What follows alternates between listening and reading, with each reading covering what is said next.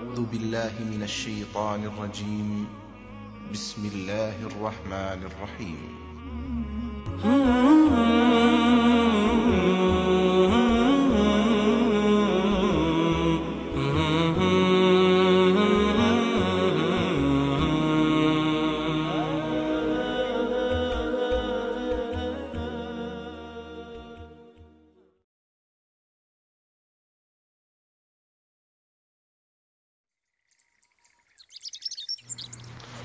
ওয়ালাইকুম সালাম রহমতুল্লাহ বারাকাত বাংলাদেশ থেকে একদিনই বোন জানতে চেয়েছেন, সিহিরির শেষ সময় কখন?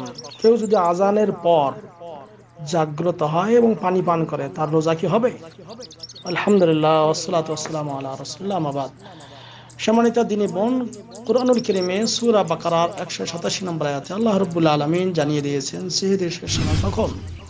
আল্লাহ রব্বুল আলমিন এখানে বলছেন, ওয়াকুলু ওয়াশরবু হাত্তা ইয়াতাবাইয়ানা লাকুমুল খাইতুল আবিয়াদু মিনাল খাইতুল আসওয়াদি মিনাল ফজর।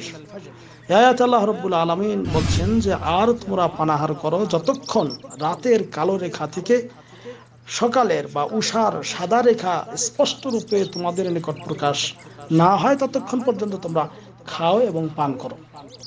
তো এইখানে আল্লাহ রব্বুল আলমিন এরপরে বললেন যে, তারপর রাতের আগমন পর্যন্ত, অর্থাৎ রাত যখন আসবে রাত, রাতের আগমন পর্যন্ত, অর্থাৎ সূর্য ডুবার সাথে সাথেই তোমরা সিয়াম ভঙ্গ করবে বা সিয়াম পূর্ণ করবে। তো আয়াত আল্লাহ রব্বুল আলমিন জানিয়ে দিলেন, কখন আপনার খাওয়া শেষ করতে হবে।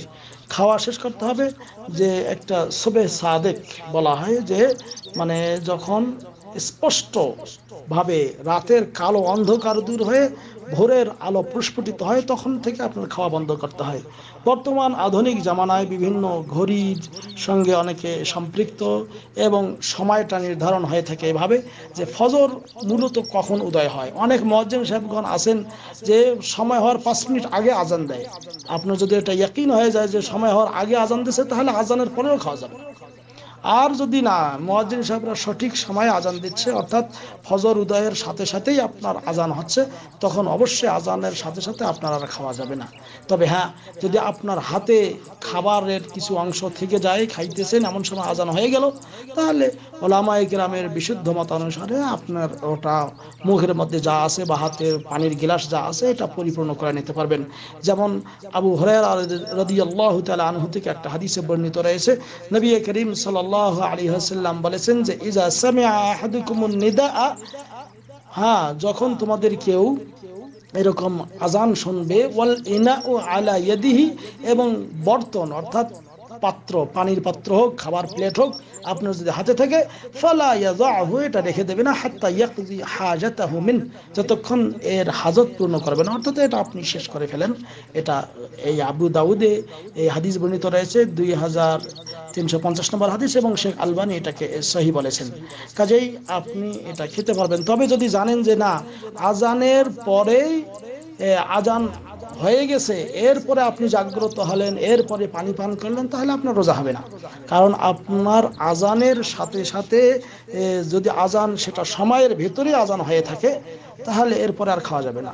আর যদি এখন আপনি উঠেছেন থেকে, কিন্তু এখনও ফজরের সময় হয় নাই, অথবা দেরি করে আজান দিতেছে মানে বা পূর্বে আজান দিয়ে ফেলছে, এরকম যদি হয়, তাহলে আপনি এক কথায় আজানের পর যদি আজান হয়ে গেছে, সঠিক সময়ে মসজিদ আজান দেয়, এরকম অবস্থা হলে আজানের পর আর খাওয়া যাবে না। আর আজান চলতেছে এই মুহূর্তে আপনি খাইতেছেন, এই মুহূর্তে আজান হয়ে গেল, তাহলে বর্তনে যেটা আসে, আপনি এটা শেষ করে নিতে পারেন। আর বিশেষ করে আল্লাহ নবী ইসলাম বলতেছেন যে, তোমরা বিলালান ইউআযযিন বিলাইলিন ফাকুলু ওয়াশরাবু হাত্তা ইউআযযিন ইবনে উম্মে মাকতুম। সহিহ বুখারী, মুসলিম হাদিস যে, ইবনে উম্মে মাকতুম যতক্ষণ আজান দেবে না, অর্থাৎ একজন সাহাবী ইবনে আব্দুল্লাহ ইবনে উম্মে মাকতুম যিনি অন্ধ মানুষ ছিলেন, তাকে তিনি ততক্ষণ ফজরে আজান দিতেন যখন তাকে বলা হয় আসবাহতা আসবাহতা। মানে সকাল হয়েছে সকাল হয়েছে। এই সকাল হওয়া কথা শুনে তিনি আজান দিতেন আর তখনই আল্লাহ নবী বললেন, যতক্ষণ এই আবদুল্লাহ ইবনে উম্মে আজান দেবে না, অতক্ষণ তোমরা খাইতে থাকো। কিন্তু বেলাল রদি আল্লাহ তালা আনহুর যখন আজান দেয়, তখন তোমরা খাওয়া দাওয়া শুরু করো। অর্থাৎ বেলা, ফজরের সময় দুটি আজান একটা ফজর শুরু হওয়ার পূর্বে সেহরির একটা যেটা আজান আর একটা হলো ফজরের আজান তো সেহরির আজান হওয়ার পর আপনি খাওয়া জায়েজ কিন্তু ফজরের আজান হয়ে গেলে, ফজর উদিত হয়ে গেলে এরপর আর খাওয়া যাবে না। তো অনুরূপভাবে আপনার হাতে যদি পানি, আপনি যদি ফজরের আজান হওয়ার পর জানেন যে আজান সঠিক সময় হয়েছে, এরপরে আপনি পানি পান করলেন, তার ওই রোজাটা আপনার পরে রাখবেন আশা করে বোঝা গেছে হাজা আল্লাহ আলম বিসওয়াব ওসল আল্লাহ আলা নবীনা মোহাম্মদ।